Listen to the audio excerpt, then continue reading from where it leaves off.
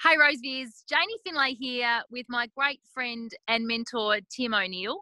I've been watching quite a bit of content online, and this morning I saw a beautiful share from Tim around leadership, and I just wanted to have the opportunity to share that with you. So, Tim, thanks for joining me. First, how are you doing?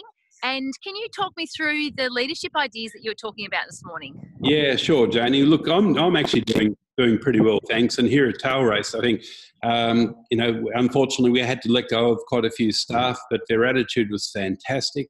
And the core staff that we've actually held on to, um, they've all taken uh, pay cuts, uh, substantial pay cuts, uh, just to see us through this time. And we're busy still, and I just I just admire their attitude. Uh, Janie, what I was talking about earlier uh, this morning uh, was that a leader, a leader has to make changes. A leader has to make decisions. And that's part of the role of a leader. You could say that a, a leader is a broker in change.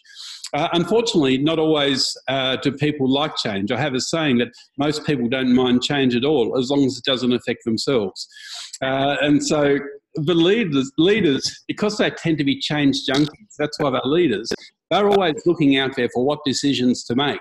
But there's a problem, and that is that if you can imagine a rubber band, a leader has to be pulling the rubber band, which creates a tension. And so people hopefully will follow along behind, generally be way behind. That can be because of them not knowing all the details, or uh, can be personality type as well. Some people uh, are more followers than leaders. They respond to change rather than initiate change. And so leaders have to be very, very careful that as they're going out, making change and creating the tension for change so they don't snap the rubber band. Because yeah. as soon as you snap the rubber band, you leave people behind and people get hurt, they get damaged, your organization gets damaged. Now, in the case of a, of a business, the currency that leaders generally uh, use is their position and the pay that they provide.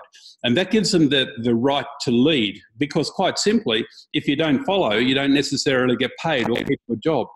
But there are other organisations in our society where it's very, very different. For example, sporting clubs or churches like here at Tailrace, where uh, we have volunteers and we have people who contribute in different ways without being on the payroll.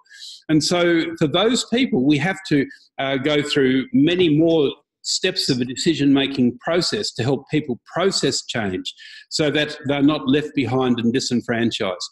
Some people may be familiar with what's called a bell curve. And uh, the bell curve is often used to describe people's propensity to change.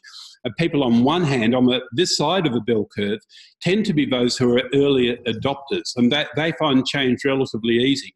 People on the other end of the bell curve, they find change really, really hard. And we call those people anchors because it takes a lot to get them to change. But most people are right in the middle. And so it's the people in the middle in particular that a leader needs to utilize the skill to actually bring about change.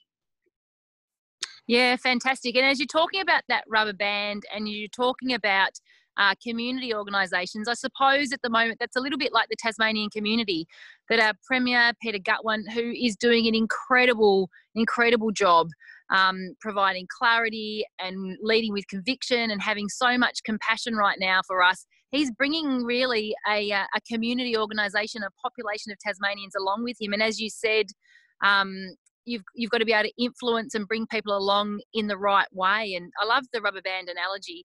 Um, we were just talking this morning a little bit about trust in leadership as well. For people to keep holding on to the end of that rubber band and choosing not to let go, it's about building that trust. And I feel like in the Tasmanian community right now, we're really trusting and getting behind uh, Peter and everybody else that's working to take us through this extraordinary.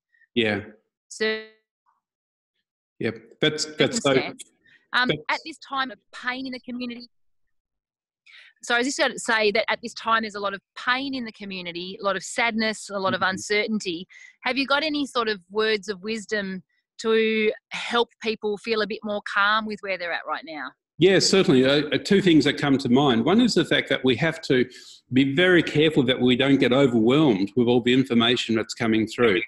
Now, we have to listen very carefully to the, to the uh, requirements that both the federal and the state government are putting down. For example, the social distancing, and we have to make sure that we uh, abide by those. But at the same time, if we're trying, say, if we're a business person or a leader in some context, trying to strategize about next steps, we have to be really careful that we don't uh, try and make uh, plans one day and then the next and then the next and then the next because when what we the, when the plans that we made on Monday are no longer relevant because of changes that, that happen on Tuesday, we end up struggling to cope with this. And the term that I use is that we milkshake our brain.